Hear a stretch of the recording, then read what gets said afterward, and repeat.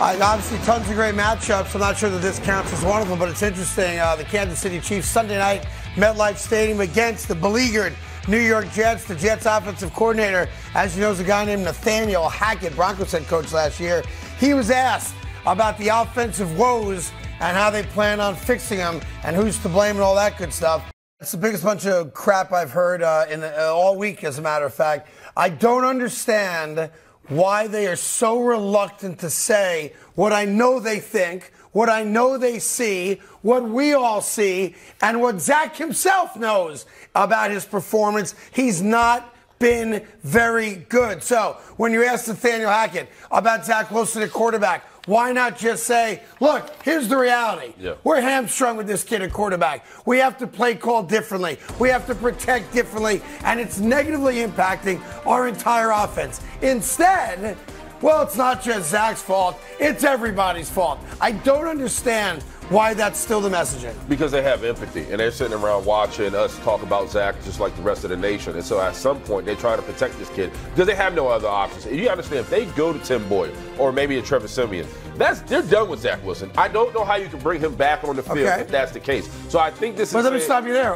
Why do I got to bring him back? Zach Wilson? Well, because at at this point, I don't think they know what they have in Tim Boyle. I don't. I don't know I how far they can go back into the crate and keep pulling out quarterbacks when you're trying to get this team to play every Sunday. So I think it's right now they have to believe in Zach. They have to continue to talk life into Zach. And by the way, his press conference yesterday, I was impressed. I With if Zach. With Zach, Yes. I thought he handled it extremely well. Zach was asked, uh, uh, we're not showing it to you right now, but Zach Yes. was asked about the Aaron Rodgers comments. He was asked about the Joe Namath Yes. comments. And to his credit, you know, he didn't shy away from it. And he said, my job is to prove everybody wrong. Wrong. You know, that they got it wrong, that I am good enough to lead the New York Jets to wins, especially against a tough opponent like the Kansas City Chiefs. It showed maturity, Craig. And, and uh, for me, for looking at this offense, can they be better? But they can be better by exploiting more options. So why not do this? Just and I, I may be dead wrong in asking this question, so you know, you know, attack me if you have to. Gotcha. And I'll respect that. Why not then call an offense like you have a real quarterback? Because what I've seen thus far Fair. is an offense that Fair. they're not willing to allow Zach Wilson to go out there and make the mistakes they're also afraid of. Because I think the narrative with Zach Wilson is just don't blow the game, let the defense win it for you. And that's been the story for him since last year. Now you're looking at this team right now that needs more production out of him. And I think he's like, hey, man, you gave me the menu. I'm just trying to follow the script. You want me to be this safe, boring quarterback. Now you want me to be this gunslinger who makes plays in, within the pocket and, and is mobile. Who do you want me to be? So I think he's dealing with an identity crisis. I think he doesn't know who he is or what he wants to do with this offense. And I don't think Nathaniel Hackett has any more answers for him. I will well. tell you this: him being a pocket quarterback is not what that kid is. You know, one of the reasons the Jets who fell in love with him is his ability to get out of the pocket Yes. and throw on the run. Yes. Not a lot of quarterbacks do that well, and believe it or not, He he, does actually does do that pretty well. Uh, not much else, of course, but that's about what he does. Here's my very quick take, Jacoby. You know, we all we break this down, and I think we get lazy on it, and we say, "Oh, Zach Wilson can't beat the Kansas City Chiefs." What about my defense? Right? Well, thus far this year, the Kansas City offense has not been explosive. Granted, Kelce missed the game. I get all that. Their wide receivers don't scare anybody. One guy does, and that's the quarterback, Patrick Mahomes, who, yes, I recognize can make anybody look like a rock star wide receiver. But I keep being told, and I went back and I checked my notes on this. Did? Yeah. notes? The New York Jets told me over and over and over and over again that we have one of the greatest defenses ever. When do I see that? Like, when do they do their job? And I don't want the excuse of, well, they're on the field for 40 minutes, so you can't expect them. No, no. I can expect them to because they told me that they were that good. When Aaron Rodgers is out, you have Zach Wilson, who we all know is limited as a quarterback. You have Breece Hall and Dalvin Cook. You have to run the ball, and then you go to the defense side. The defense is great. They need to win games for this Yes, team. they do. The way you see other defenses win games, and right now they've played well, but they haven't tilted a game. No. They haven't. They haven't been the reason that they put themselves even in a position to win, and that's what they need to do against the Chiefs. Now, I will give him credit three interceptions and the fumble recovery against the Bills in week Right. one. Yep. And we won that game on a special teams play with Gipson's up punt return uh, touchdown in overtime. Uh, that being said, I'd like to see those 11 guys on defense actually dominate a game. You know, you've seen the Chiefs offense struggle. They scored 17 points against the Jaguars, right? The Jets defense is better than the Jaguar defense. It's time to step up and be the reason you at least have a chance to win. And I'm going to be the only guy in America that's going to say this.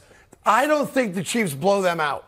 I don't think you get what you got last night, of where it's 27 to three at halftime. I agree. I don't. I now I'm not picking the Jets to win. Obviously, that would be stupid.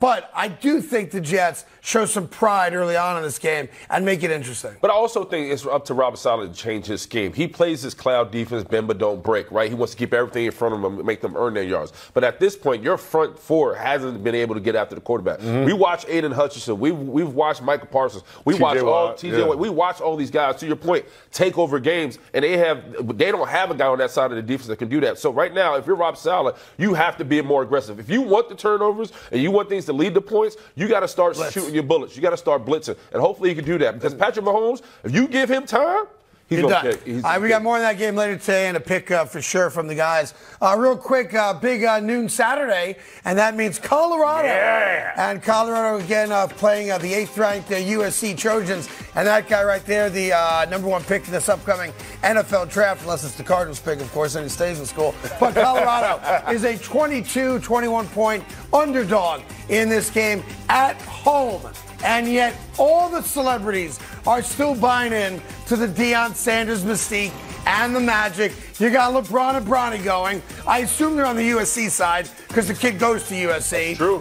You got Jay Z there. You got Snoop. You got Lil Wayne, who's living out every sports fan's dream in the last He's on a couple tour, weeks. pretty much. Being at Green Bay Yeah, last Matthew night. McConaughey. I don't know why he's What? there. Why is he He's scouting. He's scouting for Texas. Is it potential, potential playoff implications. So, in any event, it has been a great college football story because it's made a lot of people who ordinarily wouldn't watch certain college games, Yeah. you know, fall in love with. Let's see what happens next with Colorado. The real question for me is this: When USC beats them by 30, which they will, don't. It's eh. one, it's that, you know, that's one game. Which- he shouldn't have lost to Bo Nix in Oregon. Oregon put a whooping on. By the way- I think this is a different game Saturday. By the way, they should have lost to TCU. They should have lost to Colorado State. But give them credit, those kids rallied and they pulled those victories out, and I give them credit for it. They are going to lose to USC. There's a reason you're a three touchdown underdog in your own house because you're not as good as USC. Here's the question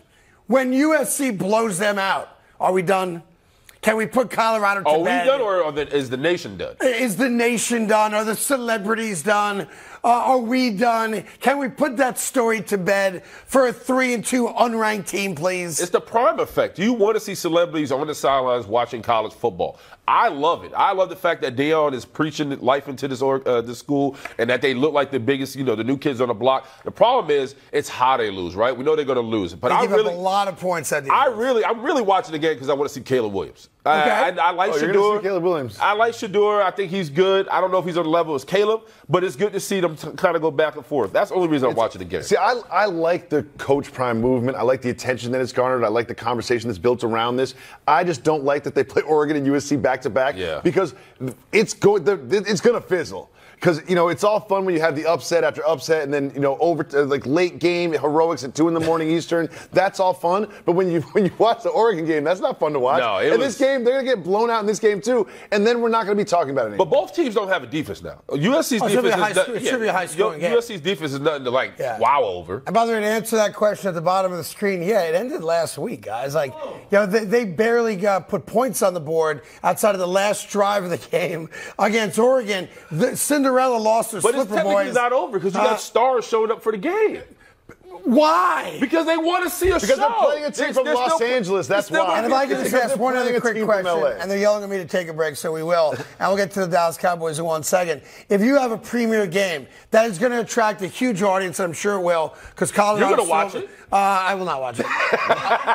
I'm going to be in Grinnell, Iowa. Fox. It's on at Fox. Parents Weekend. Okay. Um, no, no. Here's the reality, though. Uh, now you, you threw me off I'm my sorry, game right I'm there. sorry, I'm sorry. Uh, I'll come up with it at some point. Uh, totally forgot. I apologize. I- I was going to say. Hey there. Thank you so much for watching The Carton Show. You can subscribe right here to get all the latest bits and segments from the show. And by the way, while you're at it, we have a lot of great shows on FS1, so check them out too.